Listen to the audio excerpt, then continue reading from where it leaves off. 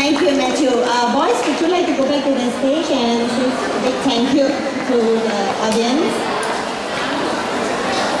Okay, that was splendid. Well done.